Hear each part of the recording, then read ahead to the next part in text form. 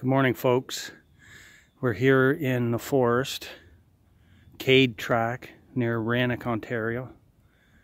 I don't know if you can see the rabbit tracks on the ground. Kind of atop of a little ridge, and I'm going to point the camera down while I read. I'll be back in a sec. Well, folks, we're on Mark chapter 5. Thank you for coming. It's a nice, lovely day. Uh, it's not really blizzardry right now, so we thought we'd get out and do a scripture reading. Mark chapter 5. And they came over onto the other side of the sea into the country of the Gadarenes. And when he was come out of the ship, immediately there met him out of the tombs a man with an unclean spirit, who had his dwelling among the tombs, and no man could bind him, no, not with chains, because that he had been often bound with feathers and chains, and the chains had been plucked asunder by him, and the feathers broken in pieces, neither could any man tame him. And always night and day he was in the mountains and in the tombs, crying and cutting himself with stones.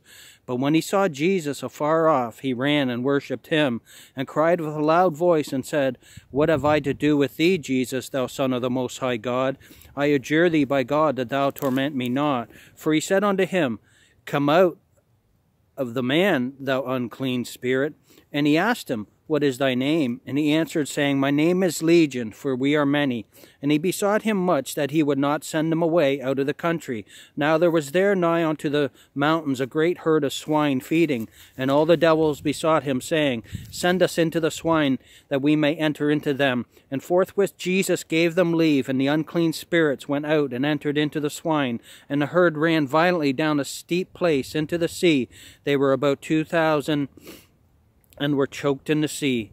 And they that fed the swine fled and told it in the city and in the country. And they went out to see what it was that was done. And they come to Jesus and see him that was possessed with the devil, and he and had the legion sitting and clothed and in his right mind, and they were afraid. And they that saw it told them how it befell to him that that, that was possessed with the devil, also concerning the swine. And they began to pray him to depart out of their coast. And he was come into the ship, he that had been possessed with the devil prayed him that he might be with him. Howbeit Jesus suffered him not, but saith unto him, Go home to thy friends, and tell them how great things the Lord hath done for thee, and hath had compassion on thee. And he departed and began to publish in Decapolis how great things Jesus had done for him. And all men did marvel. And when Jesus was passed over again by ship unto the other side, much people gathered unto him, and he was nigh unto the sea. And behold, there cometh one of the rulers of the synagogue, Jairus by name, and when he saw him, he fell at his feet, and besought him greatly, saying, My little daughter lieth at the point of death. I pray thee, come, and lay thy hands on her, that she may be healed, and she shall live. And Jesus went with him, and much people followed him, and thronged him. And a certain woman which had an issue of blood twelve years, and had suffered many things of many physicians, and had spent all that she had, and was nothing bettered, but rather grew worse, when she had heard of Jesus, came in the press behind, and touched his garment. For she said, If I may touch but his clothes, I shall be whole. And straightway the fountain of her blood was dried up, and she felt in her body that she was healed of that plague.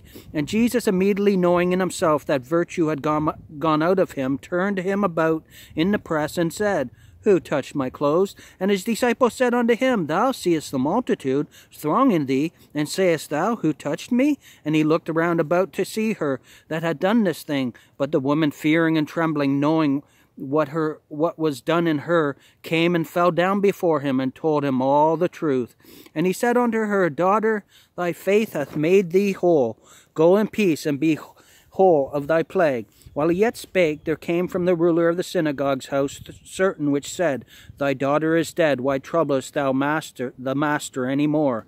Any further as soon as Jesus heard the word that was spoken, he saith unto the ruler of the synagogue, Be not afraid, only believe. And he suffered no man to follow him, save Peter and James and John, the brother of James. And he cometh to the house of the ruler of the synagogue, and seeth the tumult, and them that wept and wailed greatly. And when he was come in, he saith unto them, Why make ye this ado and weep? The damsel is not dead, but sleepeth. And they laughed him to scorn. But when he put them all out, he taketh the father and the mother of the damsel, and them that were with him, and entereth in where the damsel was lying.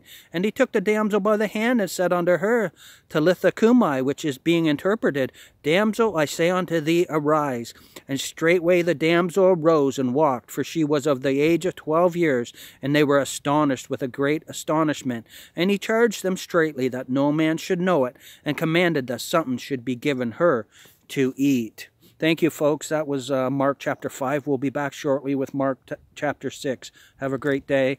I'll see you again tomorrow. Thanks for coming. God bless you. And remember, faith cometh by hearing, and hearing by the word of God, just like it did in this chapter if you want to listen to it again.